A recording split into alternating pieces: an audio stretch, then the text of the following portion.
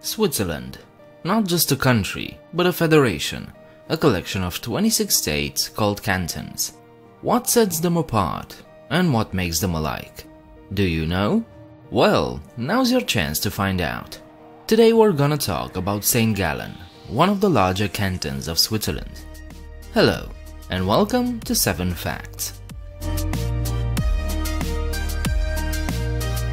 St. Gallen is a federal state of Switzerland, located in the northeastern part of the country.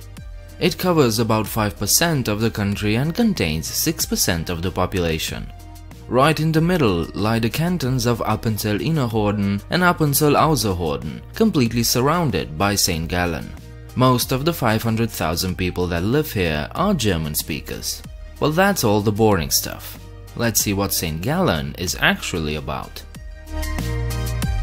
St. Gallen is not really a naturally formed state. By that I mean it was artificially created. Only about half of the canton correspond to acquisitions made by the Abbey of St. Gallen over the centuries.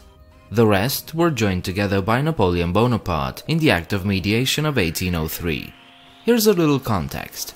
The city of St. Gallen has been independent since 1405 and it never fully joined the Swiss Confederacy.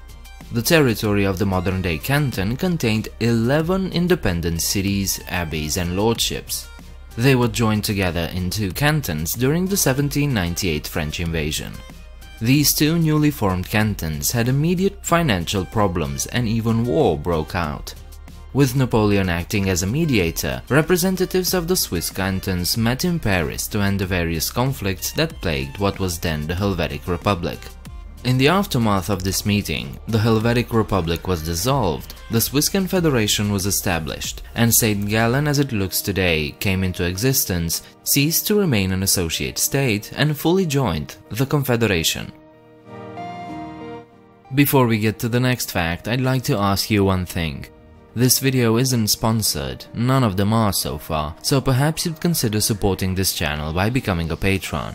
If you still enjoy my content, go visit my Patreon page and help this channel out.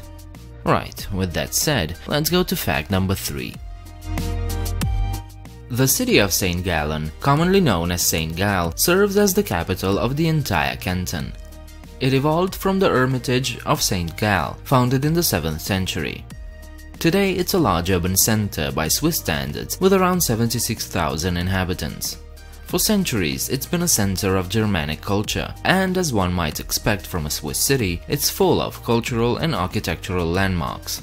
Thanks to this and its thriving economy, St. Gallen is also a magnet not just for tourists, but also foreign nationals.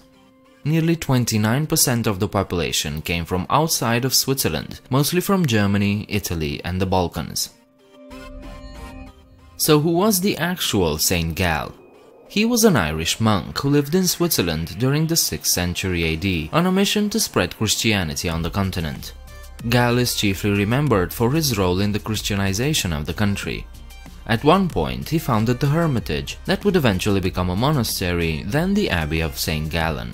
According to early accounts, after tripping over some wild plants in the Steinach Gorge, Gall became convinced that this was the place where he should build a hermitage and preach the gospel.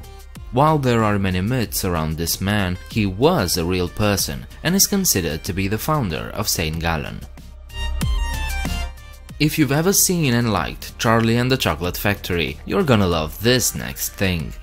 The town of Flawil is home to the Maestrani Swiss Chocolate Factory, a factory that you can visit.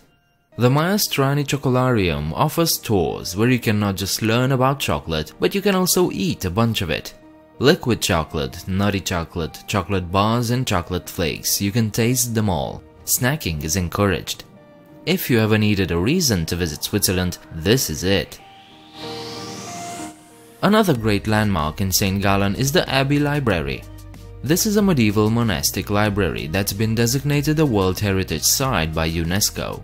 The library collection is the oldest in Switzerland and one of the earliest and most important monastic libraries in the world.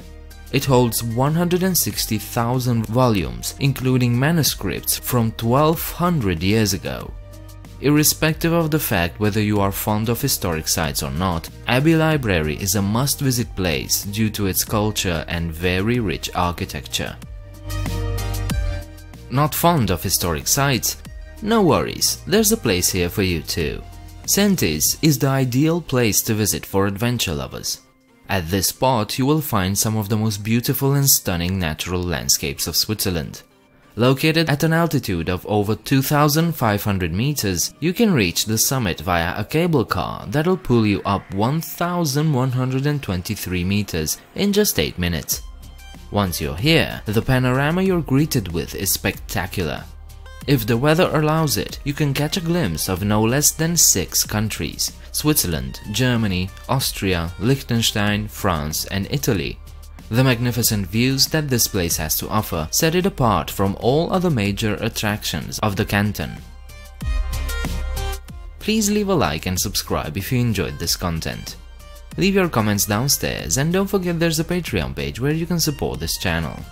I hope to see you next time. Bye.